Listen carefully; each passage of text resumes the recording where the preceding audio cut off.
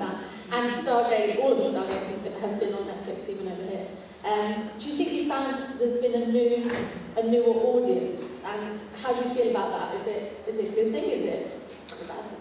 I, I, I haven't found that Standing, I don't want to sit. We're sitting I all find that the newer audience. What? I'm standing. I've been sitting all day. I want to stand for a little while. Awkwardly. You don't have to. Well, I do now. I'm sorry. Because it gets weird if.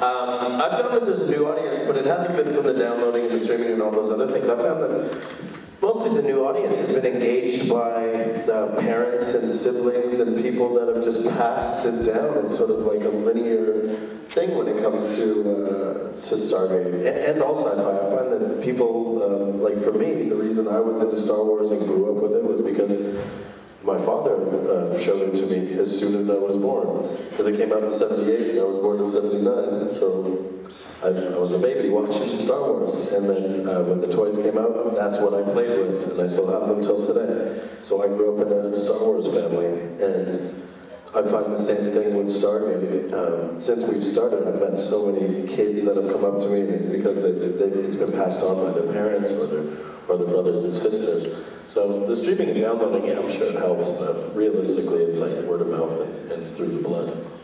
Not intravenously, but That'd be cool. You're gonna like Star Wars, damn it. standing up with that. Apparently, the first time my parents took me to see, Make up your apparently the first time that someone, uh, my parents took me to see Star Wars, they said, I, I, they said that Darth Vader came on screen, and I just started crying so hard. I love that.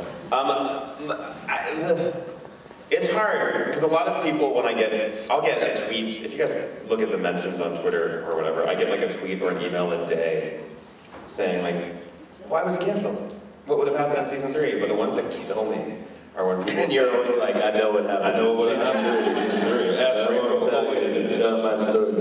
Um, the ones that kill me are the ones who say they're very nice and I appreciate it. Like I hated the show and then I watched it and I loved it. And, you know, it's five years later and I finally watched it and I loved it. Why was it canceled? I'm like, well, because you waited five years to watch it.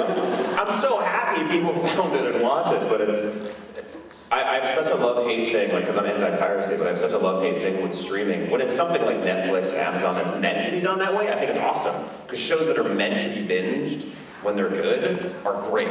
There's something to be said for like Lost style, where you watch one episode and you have to wait a week for one. I think it actually makes the show better, like theorizing and wondering and water cooler talk. But when it's made for binging, it's great. When it's not meant to be streamed, sometimes I think it can kind of ruin a show. Um, legal streaming, I think is awesome, and it's- making content exciting.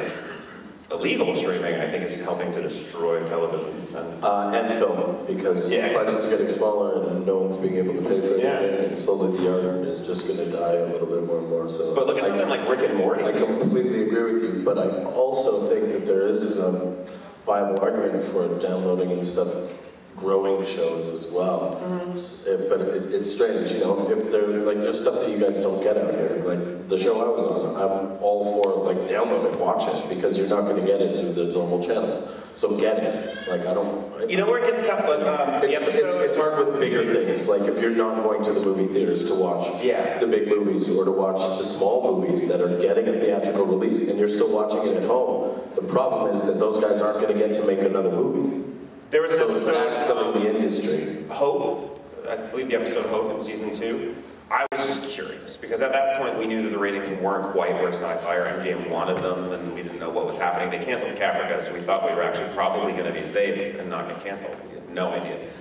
Um, but but when the episode aired, I was just very curious because I knew what our ratings were for that night. But I went onto a torrent site and I, and I just looked, and there were thousands of comments and people saying like, "Oh, thank God, a new episode! SGU, can't wait to watch this! Can't wait to download it!" And I was just looking at the ratings and then the torrent. I'm like, if you guys legally watched it and were counted, we would be way more successful. So you clearly want to watch the show, but if because you're not getting counted, there might not be more show for you. It's this weird gray area. But But Rick and Morty- again, but again, you don't know which, which of those people were in the United It's true. States. Yeah, they could have not gotten it. But still, I mean, that's, that's the, the grayish area. But look at Rick and Morty. Who here watched Rick and Morty? Yay. Yesterday or today, Did you guys they watch the the April episode? Fool's episode. They released the season three premiere early, It's just for 24 hours. They're streaming it on the Adult Swim website, and they aired it on a loop. You can watch it if you watch it today. I'm gonna watch it right. But that season doesn't come out until later. I watched it on the way here. Um, uh, I think if you do it smartly, it can actually help and boost your stuff. It's weird. The whole system is broken, and no one knows how to fix it, so we just kind of keep pretending like it's not broken, kind of like government. But like, it's not working. What do we do? You're not very far off of that. Yeah. I, I think it's just, it's a, it's a transitional phase of, of media. You know, we're, we're finding, we're finding out how to do it. The YouTube, YouTube's a whole new thing that they're just learning how to monetize. These kids are millionaires, multi, multi-millionaires from playing video games in their basement. I don't get it. I don't get PewDiePie. Uh, it's, it's not, I don't it's not get fair. it. I tried. Yes, but, but guess how many people get it? I know. I'm old. Millions. No, it's not about your age. And it's just like you don't watch this show. That's his channel. Yeah, I but I don't don't watch. get the concept. I don't want like. But I don't watch soap operas, and I don't get the concept. I think it's corny and. But I don't understand. I would rather play a video game than watch someone else play a video game, let alone play it badly. He's not good at video games. But it's not... I don't want to watch someone else have bad sex. I'd rather have sex. And you mean you'd rather have bad sex? Well, that's just what I call sex. Okay. And he never had sex again. For the children in the audience today? Yep, great. Awesome. In summation, to answer your question, Yeah. next question. Who knows? Who I have no idea. I mean, I'm excited for some of the content. If it's good, I'm like, Iron Fist. It's, I think it's a really hard thing. I think the, the thing about downloading in the end is that nowadays, uh, what I've found is from music and, and television and film, and basically anything in the arts, photography, anything, art has now been rendered worthless by binary, by way of binary. And it's a really sad thing because it means that you're going to get really great art as technology gets better and the cost to make things go down and people are able to make stuff from their homes, but you're going to lose a lot of the really high level art that does cost a lot of money to make because they just can't be facilitated anymore. So there's got to be some sort of equilibrium in there, but we haven't found it yet. And the difficulty comes where I can't go to um, I can't go to Burger King and download a cheeseburger. Right? I gotta pay for it. I can't go to whatever your business is and download what you do. But you can take, literally take money out of my mouth and uh, uh, away from my family by downloading. Um, and I can't do that, and there's no other thing. It's only the arts that that, that works for. So it's a really terrible thing, but it's really great when I, and Rainbow Sun Francks, make a movie for a million dollars and it, it doesn't get a theatrical release, but it's so conceptually good and well done, and the script's amazing, and the acting's amazing, and it, and, and it spreads like wildfire because of downloading, and then I get to do a second project. The problem is that that's very far and few between, and those are only those little few projects that are amazing that get to do that. So the masses are the ones that get wrecked. Um, and you lose your blockbusters, and uh, you lose a lot of the good stuff that you guys really love. Um, you know, Disney and those guys are going to flourish, but it's, it's the middle ground that, that you lose. So, and, and some of the top end. So, so it's like really, um, all I can say is I implore you to go to the, the movie house, go, go and, and, and watch film on the big screen, and um, and limit your downloading to to things that if you can stream and if you are a Netflix subscriber, do those things because it, it does make a difference. I always say that if you can't, I, I, I Like I buy everything. If I if I if I really love it, I'll buy it. You know. Even I said this to the people in Australia that I talked to once because I there's like a thousand people and I said, "Who here watches the show?" Everyone raised their hand. I said legally, and everyone dropped their hand Yeah. um, because they got it like a year later at that time, and they went, "We don't want to wait; it's spoiled for us." And I went, "Okay, That's let's, let's pretend that that's fine, but then do you go and buy the DVD?" Yeah. And everyone's like, "No, like, you gotta, you have to show your support somehow. But the you problem- can't complain when the things you want don't stay on the air." The know? problem is that Somehow. because of downloading DVDs, are, are a thing in the past. I mean, some of them are still releasing box sets and stuff, but those things are, are falling away because that industry is not supported, so they're not gonna waste it. Information is broken and no one knows how to fix it. Yeah, so basically it's this thing where art's free, where it shouldn't be. Because I love hats, but I can't just copy a hat out of zeros and ones on high school. That would be cool though. Would, that, that's the matrix. Figure out a way to do it, Kobe. I know jujitsu. Well, then everything's free. Um, so yeah, I don't, I don't know what to do, but, but that's, that's where it comes in, and that's the difficulty that I have with it. Um, but like I said, I, if there is something that you can't get here and you can't watch, then please watch it because your fandom, your voice, your love of it is powerful and does have some, some help towards, uh, towards the project at the same time. Because voices are powerful, individuals are powerful. Yeah.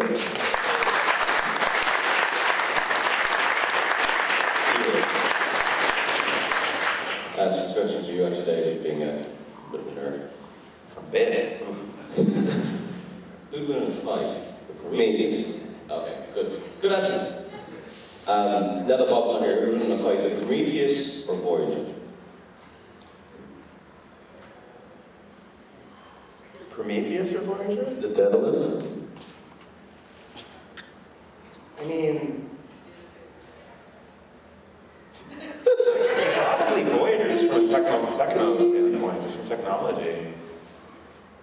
mean, like that's the old, the old battle, you know, the Star Wars versus Star Trek thing. You know, like yeah, they have the Force, but yeah, they have technology. Like by the time they use the Force, they blew them up with phasers. You know, like it's, the, the higher advance of technology, I think, is just. I don't know. I think Voyager, which is weird for me to say because I didn't watch all of Voyager. I think Voyager. Voyager? Yeah. Probably. I hate saying it, but probably. Unless you suck them into a black hole. I don't know. I can go on forever. I spiral. That's the same thing anyone who was by the table yesterday. I could talk for hours about whether or not uh, if Will Riker let go of Thomas Riker's hand, is that suicide or murder? we were talking about that yesterday. I could talk about it for hours. It's easy to go into a nerd spiral. But wait, but this, but, but hold on, but that. That's what conventions are. They're That sitting is. around nerd spiraling. Yes. That's hilarious. Hello again. Hello. Um, as it's sort of coming towards the Tell us about another cartoon that we didn't know about. No. My mind. the end of the convention, are there any questions you wish we'd asked you?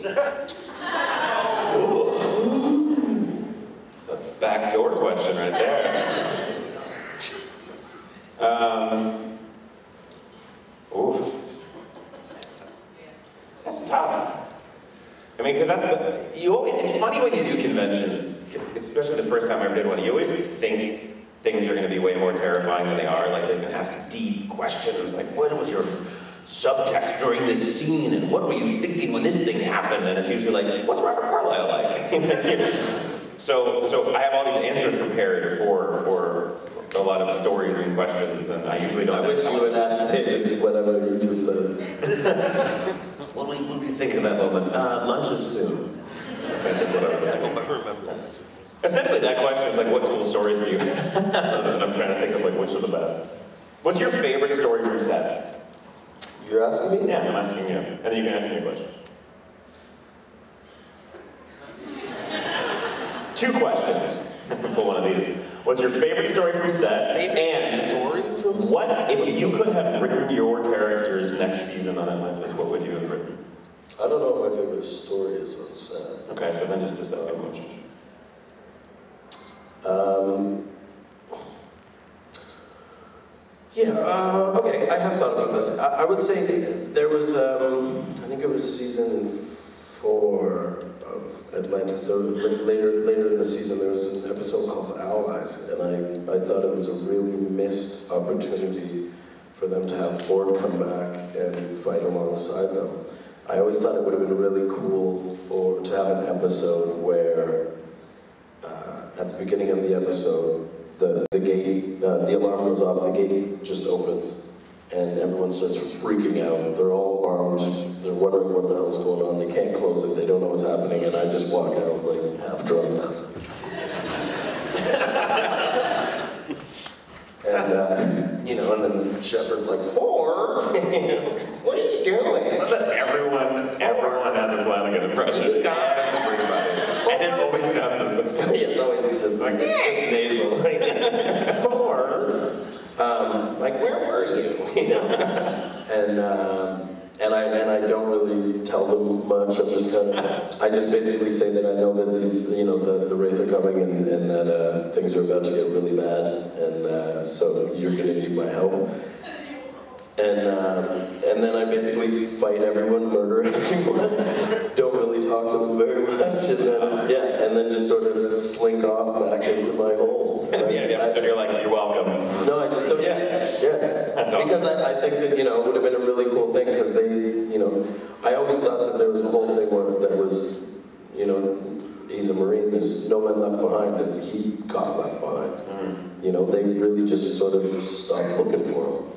And uh, I think it would have been cool and sort of shoving it back in their face for him to save them again, and uh, and then just leave because he's not. He, he, he still cares about them, but he, he doesn't care for their uh, for them to care about him anymore. You know? So I don't know. I thought that would have been really cool. I just always thought he, he should come back, and also maybe he comes back and he's perfected the enzyme, so he's he's not crazy anymore. He's just sort of emotionally hurt by, by them leaving him away. But he's he's perfected it, and he shows them, and he's just super strong, and he just leaves, and he doesn't actually give it to them. You know, it could have been weird. I don't know. It's like an emo for It's like a really. I'm gonna help but I still don't like it. Yeah. What about yourself? Same question. Wow, that's, that's the equivalent of what would have happened in season three. No, it isn't. Um, You're not Brad Wright. I'm I- David. I liked what they were doing. I, I trusted them. But he can't tell you. No, no. From the beginning, I almost didn't audition for the show because the, the role, the description of the breakdown, whoever wrote it, it, was, it sounded like David Hewlett. It was like sarcastic and untested wit. I'm like, so McKay? I don't want to be McKay. David Hewlett's awesome. But when I read the script, it was cool and interesting and different, and I, I, I kind of just jumped into it going, I trust whatever they do. For the most part, I never really, I'm not the kind of actor who has notes on, on a project. I just do what they write and try to make it the best I can. The closest I ever came, um, between seasons one and two, because I write, Rainbow also writes, we're sort of slowly writing a project together, actually. Very slowly. Very slowly. Um, it'll be awesome. it's gonna be awesome. It's gonna be awesome. It's gonna be the best thing you guys have ever read. um, It's gonna be so cool. You're gonna really love it. It's gonna be amazing. whatever you're imagining, whatever you're imagining, better than anything you could imagine. You're not even kidding. No Um, way. Between, between seasons one and two, I was kind of just practicing my writing skills. I was half drunk and bored, and I just had an interesting idea, I thought, for something that would have happened in Stargate Universe. So for fun, I started writing an episode. I thought it would just be a cool episode for what would have been season two at the time. And it ended up becoming a two-part episode. Very, very different two-part episode. Essentially them discovering seed ships on that side. And it was insane. Like, it was so much stuff happened. Like, the first one was almost horror-like, and the second one was very fantasy, sci-fi, like, action-driven. And I finished it, and I showed my, my girlfriend at the time. And I was like, ah, I just wrote this for fun. And she's like, this is actually, you should send this to someone. I sent it to my lawyer just for fun, and he went, he said, I didn't even consider that. Literally, it was, it was almost like fan fiction. Like, I just wrote something that I thought would be fun to test my screenwriting skills. But my lawyer even said, send this to Brad and Rob. Send it to them. I think they're gonna like that you like the show this much.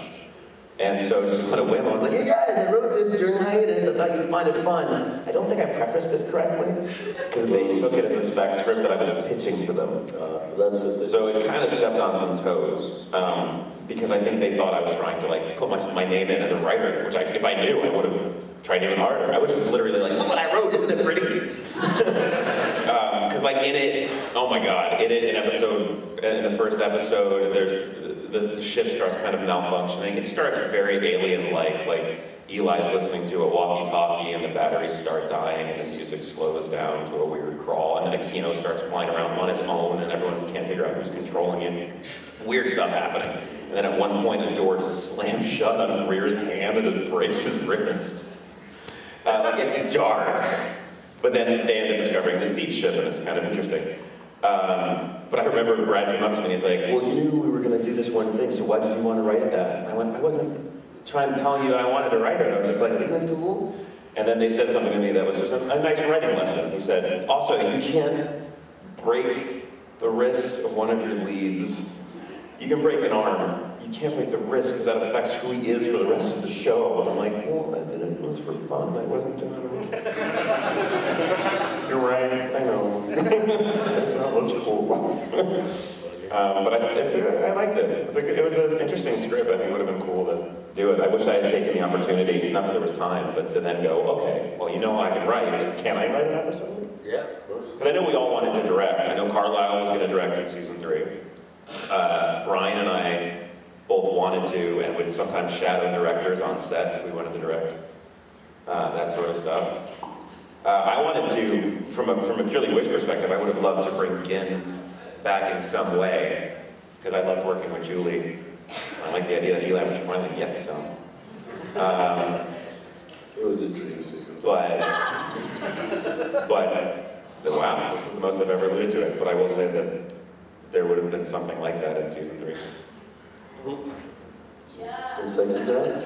Something involving Ginn. Some sexy times. You are, you, you are here. You want to hear the saddest story ever? Yes. I've never had a love scene on camera. Recently, oh, I No, that's not the saddest part. In the past, in the past year, I've done five movies and I've had a bunch of makeout scenes finally. Lost Smith Wade wouldn't let me make out on camera.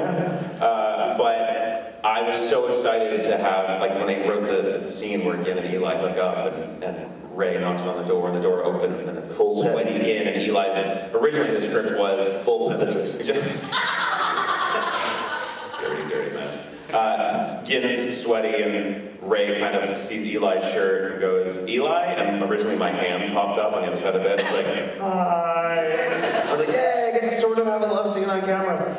And we were, I went to set to go shoot that day, and they went, hey Dave, can we talk to you in production real fast? I was like, okay. And I went and ended up having a long meeting. I missed it. They shot it without me.